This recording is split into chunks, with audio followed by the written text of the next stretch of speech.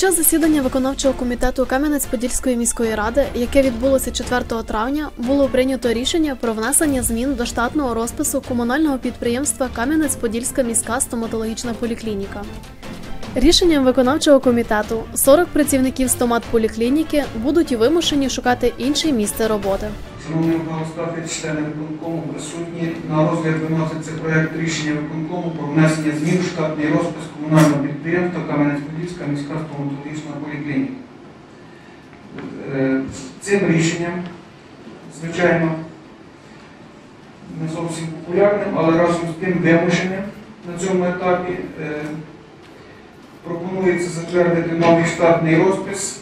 Якщо ми сьогодні маємо 113,75 посад, то 73,5 новий штатний розпис, тобто 40, 25 в мінусі, але це зауважую вимушена міра, тому що е, багатотривалі зустрічі, перемовини і все інше не приведе до того, щоб колектив максимально зрозумів, що він повинен бути сконцентрований на тому, щоб працювати і заробляти все на це в двох словах розкажу. Кожне комунальне підприємство воно створюється для того, щоб заробляти на себе кошти і витра- витрачувати.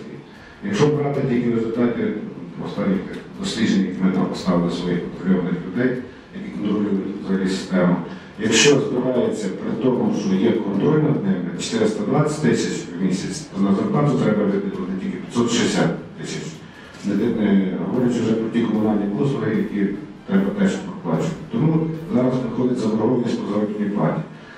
Керівником підрозділу, який був призначений два місяці тому назад, виконуючого обов'язки головного лікаря, е, зроблений загальний аналіз і вийшли на цифру 73 чоловіка, які безпосередньо можуть робити і заробляти самі на себе.